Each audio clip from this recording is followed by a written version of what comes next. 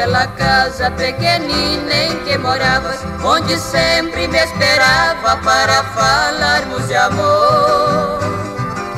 Já não existem encantamentos de outrora, porque lá reside agora diferentes moradores.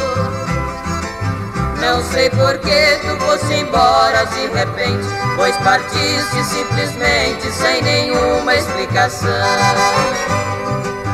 Talvez fugisse para livrar-te do medo de contar-me algum segredo que guardas no coração.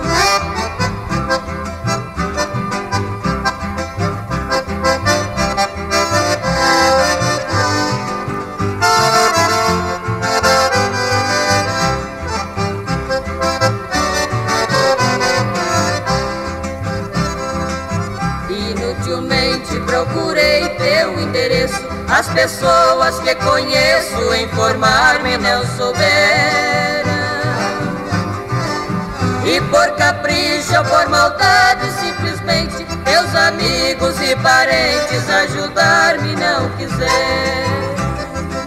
Sem outro jeito de encontrar meu paradeiro O recurso derradeiro foi tornar-me um trovador Pois acredito que através da poesia Vais escutar algum dia minha mensagem de amor.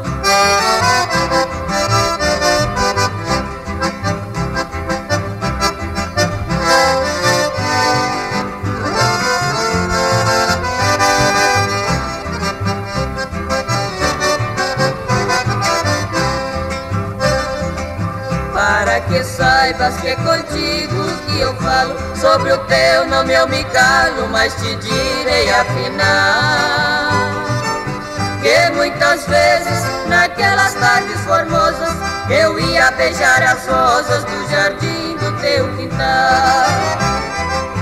Pois me dissestes naquele jardim de amores Que todas aquelas flores tu plantastes para mim e se voltares para os meus braços, querida, nós faremos desta vida um novo e lindo jardim.